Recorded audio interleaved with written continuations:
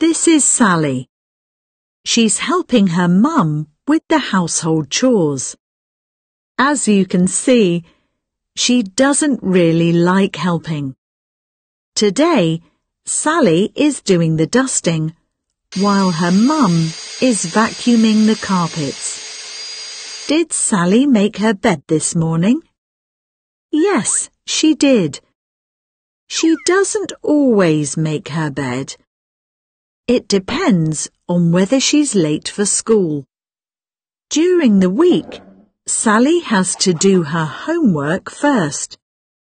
But then sometimes she can help her mum do the washing by putting the clothes in the washing machine. Then she maybe hangs out the clothes or does a little bit of ironing in front of the TV. What's her least favourite chore? She hates mopping the floor. This is Tom. He never helps with household chores if he can get away with it.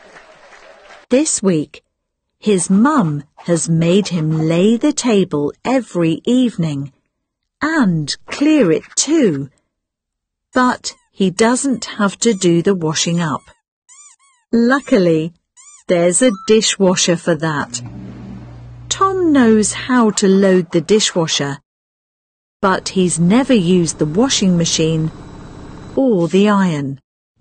He's good at small appliances though.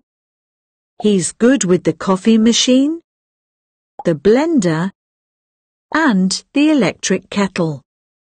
Another thing for Tom to do is take out the rubbish in the evening. Thanks, Tom.